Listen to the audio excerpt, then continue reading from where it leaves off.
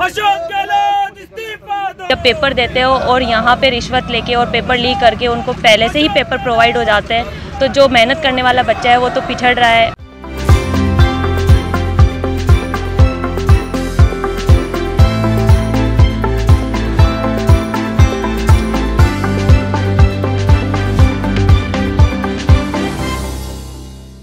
Paper leak को लेकर आज ये हमारा एक दिवसीय सत्याग्रह रखा गया है, जिसके अंदर हमारी राज्य सरकार से ये मांग रहेगी, जितने भी आज तक पेपर लीक हुए हैं, उनकी सीबीआई जाँच करी जाए, और जो भी यहाँ पे आरपीएससी चेयरमैन है, जो जो इंटरव्यू के अंदर बैठे थे उनके खिलाफ जो है सख्त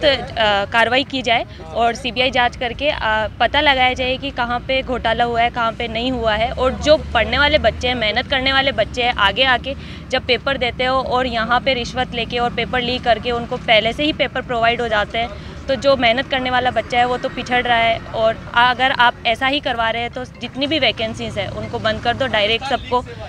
जॉब दे दो ऐसे ही। तो हमारा मुख्यमंत्री से मतलब यही मांग है कि एक बार यहाँ पे सीबीआई जाँच करवाई जाए। संस्कृति दादीज संयुक्त सचिव महर्षि दयानंद सरस्वती विश्व आज अखिल भारतीय विद्यार्थी परिषद अजमेर महानगर द्वारा एक दिवसीय सत्याग्रह किया गया है, जिसके अंदर हमारी प्रमुख राजस्थान सरकार से मांग है कि राजस्थान के लोक सेवा आयोग के जो अपने अध्यक्ष हैं, उनका इस्तीफा ले। और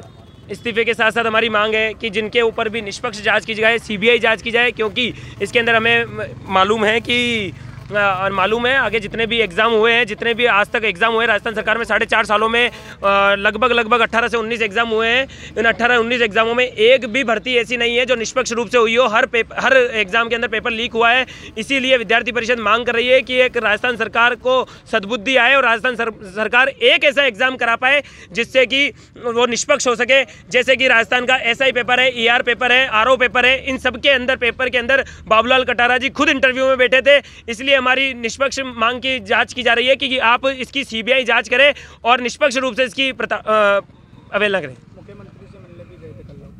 मुख्यमंत्री से हम मिलने गए थे। मुख्यमंत्री से हम ज्ञापन देने गए थे कि मुख्यमंत्री जी को ज्ञापन देने गए थे कि राजस्थान लोक सेवा आयोग के अध्यक्ष को इस्तीफा देने इस्तीफा लिया जाए उनका और उनको बर्खास्त किया जाए लेकिन उससे पहले ही हमें सरकार के दबाव में आकर पुलिस के द्वारा हिरासत में ले लिया जाता है और हमें पकड़ लिया जाता है। उदय सिंह शेखावत, महानगर मंत्री, अजमेर महानगर एबीवीपी अखिल भारतीय विद्यार्थी परिषद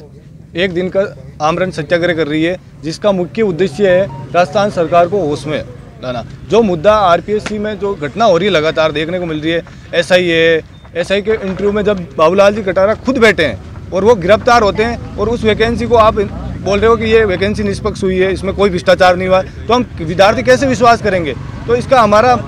मेन मेन उद्देश्य है अशोक गहलोत सरकार को जो भी उनके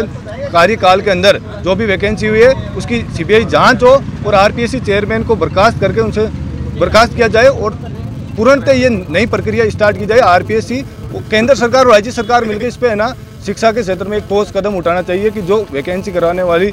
रा, राजकीय संस्था है जो तो जैसे आर आरपीएससी अधीनस्थ बोर्ड है उनमें जिन जिनकी भी आप नियुक्ति करते हो तो वो राज्य सरकार और केंद्र सरकार मिलकर दोनों करें ताकि है ना निष्पक्ष रूप से वैसे जैसे यूपीएससी के पेपर नाम मात्र यूपीएससी के पेपर आउट होते। हैं तो इसका हैं?